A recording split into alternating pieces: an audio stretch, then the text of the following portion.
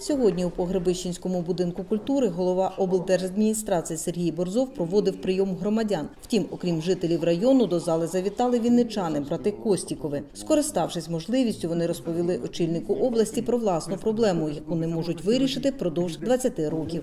Мова йде про оформлення спадкового майна. Квартири в обласному центрі, яку братам, осиротілим ще в дитинстві, заповіла їхня У вас є матеріали? Будь ласка, покажіть, що у вас є. Це вам Сергій Сергійович безпосередньо- безпосередньо. Валерій Костіков стверджує, їхня сім'я не єдина постраждала від шахрайських дій нечистих на руку нотаріусів. Це не поодинокі випадки, це 20 років банда діє. 20 років. 20 років? Да. Судді їм допомагають. Крім того, Безпосередньо приїжджали смотрящі нам погрожували. Казали, руки, ноги поламають. Депутати міської А хто смотрящий? Е, комар такий е, Костя приїжджав.